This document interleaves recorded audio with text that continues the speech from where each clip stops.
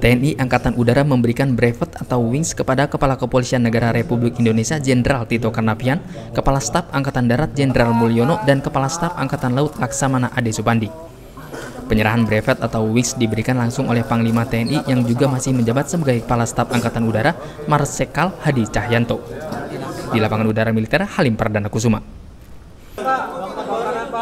Sebelum brevet atau wings diberikan, TNI Angkatan Udara mengajak mereka terlebih dahulu untuk terbang di ketinggian 10.000 sampai 25.000 kaki. Sebelum melakukan penerbangan, keempatnya di briefing terlebih dahulu cara menerbangkan pesawat tempur. Dalam briefing diberitahukan keempatnya akan diajak terbang oleh penerbangan TNI Angkatan Udara menggunakan pesawat tempur Sukhoi Su-30 yang akan melakukan manuver air combat Tactical Versus 2. Empat pesawat Sukhoi yang digunakan ini didatangkan dari Landasan Udara Hasanuddin, Makassar, Sulawesi Selatan. Seusai briefing, Kapolri beserta Panglima TNI, Kasat, dan Kasal mengikuti cek kesehatan berupa pemeriksaan tekanan darah.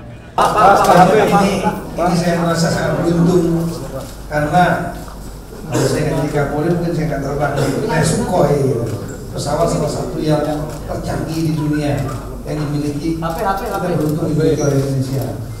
Saya merasa bangga sebagai Kapolri dan sebagai warga negara Indonesia betul-betul bisa menikmati terbang bersama Sukhoi kesannya nyaman naik pesawat ini nyaman.